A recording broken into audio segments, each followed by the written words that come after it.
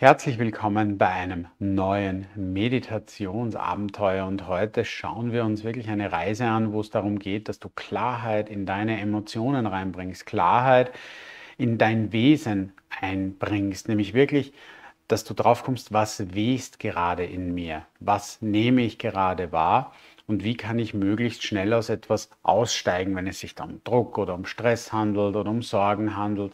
Wo kommt das her? Wie kann ich das am besten lösen? Wie komme ich da am schnellsten drauf? Also eigentlich so ein Selbstmanagement fürs Wesentliche, für dein eigenes Wesen.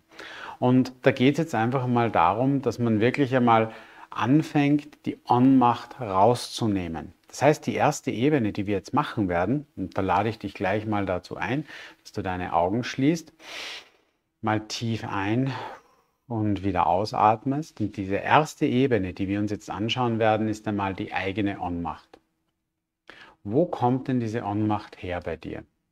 Die Ohnmacht kommt her aus der Kindheit, aus dem, dass du gelernt hast, es gibt immer große Weise, die mir erzählen, was wichtig ist oder wie etwas funktioniert. Also du kommst auf einer Ebene nie in diesen erwachsenen Status, in diese erwachsenen Energie, sondern es gibt immer noch ältere, größere, weisere Menschen als dich und du kannst dir selbst nicht helfen, denn du brauchst Hilfe. Also schauen wir uns mal diesen Satz an. Wir gehen da jetzt rein mit einer Transformationsenergie. Das heißt, du atmest nochmal tief ein und wieder aus und stellst dir mal bei deinem Nabelchakra vor, das ist so mit der Nabelgegend ein bisschen unterhalb deines Nabels, dass da ein dunkel oranges, bernsteinfarbenes Licht einfließt. Also ins Nabelchakra, das ist wie ein, fast wie ein Honig, kannst du dir das vorstellen. Das fließt da wie so ein dunkler Waldhonig, fließt da so Energie in dieses Nabelchakra rein. Und das ist die Energie des Schocklösens und des Heilens des inneren Kindes. Und dieses Licht nimmt sich jetzt genau der Aspekte an, bei denen du Unsicherheit empfindest. Also die Aspekte, wo du Unsicherheit, Ohnmacht empfindest, das Gefühl hast, jemanden zu brauchen, dass dich jemand unterstützt, genau dieses Gefühl wird jetzt bearbeitet.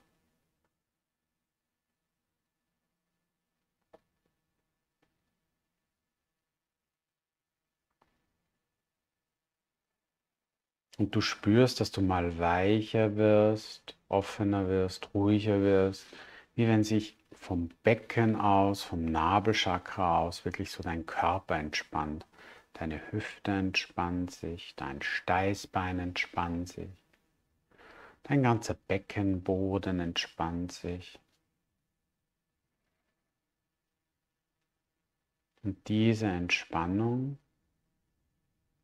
löst jetzt auch nochmal sämtliche Manipulationsenergien die auf der Nabelebene gespeichert sind. Sämtliche Manipulationsenergien, die auf der Nabelebene gespeichert sind, werden nun transformiert und dürfen sich lösen. Da ist so dieses Bewusstsein drinnen, ich bin ja klein, ich brauche Hilfe, ich kann alleine etwas nicht schaffen. Also das ist wirklich so dieses, dieses Bild der Anmacht, das ich hier lösen darf. Deine innere Unsicherheit wird nun stabilisiert und gelöst. Da fließt ganz viel Mut, Sicherheit und positives Selbstmanagement in dich ein. Positives Selbstmanagement. Es gibt keine Situation auf Erden, mit der du überfordert bist. Und wenn es eine Situation gab, mit der du überfordert gewesen bist, dann nur, weil du noch keine Erfahrungswerte mit dieser Situation gesammelt hast. Du erlaubst dir nun, dich nicht als Spezialistin oder als Spezialisten wahrzunehmen, sondern als Lernende und Entwickelnde, als jemand, der lernt und der sich entwickelt. Und um das geht es da, dass du im Fluss bist, in einem stetigen, kontinuierlichen Fließen. Und es geht immer weiter, dieser Fluss, und fließt ganz ruhig und klar und bestimmt dahin. Du nimmst dich selbst als Lernende, als Studierende wahr und legst mal diesen Expertinnen, Expertenstatus weg. Und das Leben ist so viel spannender mit jungen, frischen, unverbrauchten Augen, mit jungen, frischen, unverbrauchten Ansichten.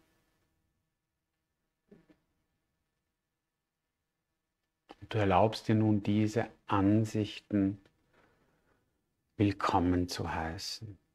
Und da geht es nicht nur um Ansichten, sondern da geht es auch um dein Innerstes, um dein Wesen. Ich werde nie die Expertin oder der Experte sein, die Unendlichkeit meines Wesens erfassen zu können. Aber ich vertraue darauf, dass diese Unendlichkeit gut ist, dass diese Unendlichkeit eine Geborgenheit beinhaltet, einen tiefen Frieden beinhaltet, der mir dabei hilft, klarer und selbstbestimmter zu werden. Und du erlaubst jetzt nochmal diese Entspannung deines Beckens wahrzunehmen, deiner Hüfte wahrzunehmen. Und du spürst, dass du relaxter wirst, ruhiger wirst. Und durch diese Ruhe und Relaxedheit öffnen sich auch Solarplexus, Herz und Hals also die nächsten drei Zentren und entspannen sich ebenfalls. Und da werden jetzt alle Manipulationsenergien raus transformiert. Und du kommst immer mehr und mehr und tiefer und tiefer in deinen Frieden, in deine Entspannung.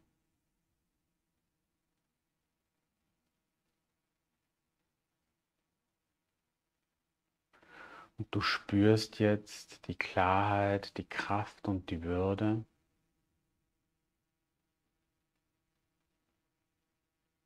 Und du spürst auch, dass nun unendlich viel Lebensenergie in dich einfließen kann. Und in dieser Lebensenergie ist auch Heilung, Frieden und Zufriedenheit drinnen. Und aus dieser Zufriedenheit erwächst nun ein tiefer Frieden mit dir selber, in dir selber. Zufriedenheit mit dir selbst, in dir selbst. Tiefster Frieden, tiefste Zufriedenheit.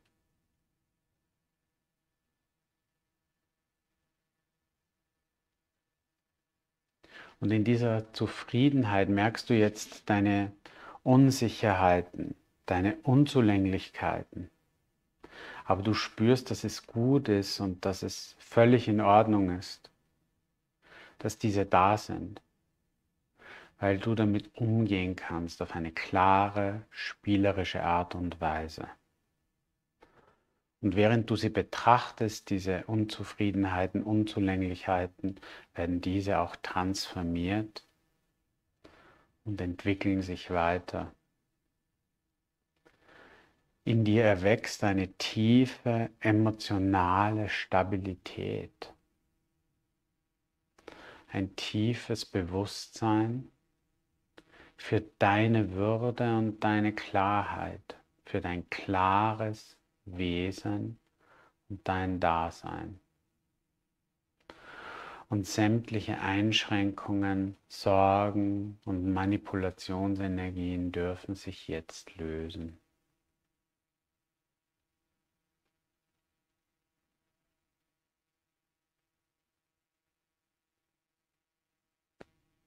Und du spürst nun, wie dieser Stress von dir abfällt und wenn eine tiefe, tiefe Sicherheit aus dir erwächst.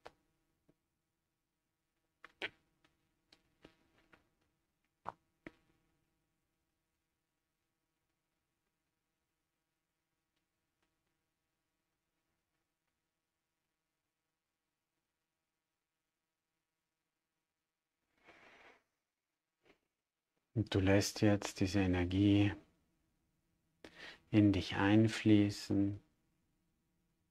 Nochmal Frieden und Zufriedenheit. Diese Heilungs- und Aufarbeitungsenergie. Und du spürst, dass du absolut in deine Mitte kommst. Und du spürst, dass du dadurch auch bewusster wirst, dass du wie Frühwarnsysteme aktivierst, die dir gleich sagen, Achtung, da kommt was auf dich zu oder dass du da schneller reagieren kannst, bevor es zu deinem Thema wird. Und bevor etwas dich belastet, spürst du, dass du schon Abstand gewinnen kannst und Dinge loslassen kannst.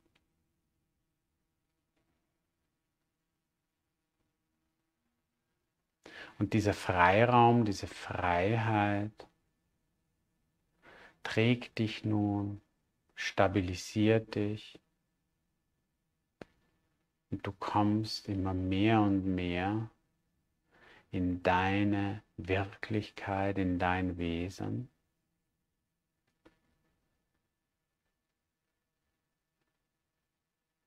Und erlaubst dir nun auch einen Zugang zu deinen Emotionen. Und zwar einen vorurteilsfreien Zugang zu deinen Gefühlen, sodass dein gesamtes emotionales Bild wieder in dir ganz wird und deiner Kraft, deiner Liebe dient. Und spür mal, wie gut sich das anfühlt, emotional nicht mehr zerpflückt, zertrennt zu sein. Und erlaube dir jetzt auf deine Art und Weise, deine Ganzheit zu spüren und die Ganzheit deines Wesens wahrzunehmen. Und du kommst jetzt absolut in deiner Gegenwart an und erlaubst deinem Wesen, dass es sich entfaltet. Sag einfach ganz klar zu dir selbst in deinem Inneren, ich liebe dich, ich liebe dich und ich danke dir für dein Dasein. Ich liebe dich und ich danke dir für dein Dasein und atme das nochmal tief ein. Und wieder aus und nochmal tief ein. Und wieder aus. Und spür jetzt mal nochmal, wie sich dein, deine lockere Hüfte anfühlt, wie sich diese Kraft, diese Entspannung anfühlt. Und wie es sich anfühlt, ganz in deinem Wesen zu sein, zufrieden mit dir zu sein und das Gefühl zu haben, in Entwicklung, im Fluss zu sein. Bedank dich nochmal bei deinen geistigen Helfern und Führern. Und dann komm absolut in deinem Tempo ins Hier und Jetzt, in diese Zeit, in diesen Raum zurück. Streck dich mal durch. Beweg deine Arme und Beine. Atme tief ein und aus. Spür nochmal nach und wenn du ganz im Hier und Jetzt angekommen bist, dann öffne deine Augen und du kannst dich dann an alles erinnern, was während dieser Reise geschehen ist. Wie ist es dir gegangen? Schreib es mir gerne in die Kommentare. Und ich möchte mich auch bedanken bei allen, die kommentieren, bei allen positiven Feedbacks, die ich bekomme auf diese Meditationsreisen. Und all die, die fleißigen Meditierer, die da draußen sind und Meditiererinnen. Also vielen, vielen Dank. Das freut mich sehr, dass auch der Kanal immer weiter wächst. Und du kannst das natürlich unterstützen mit einem Daumen hoch, teile das Video, abonniere gerne den Kanal. Und ich freue mich natürlich, wenn wir uns das nächste Mal wiedersehen. Ob jetzt hier auf YouTube, bei einer Sitzung bei mir in Linz oder mal bei einem Workshop. Ich wünsche dir alles Gute aus dem wunderschönen Linz. Dein Oliver Ereni. Tschüss, bis nächstes Mal.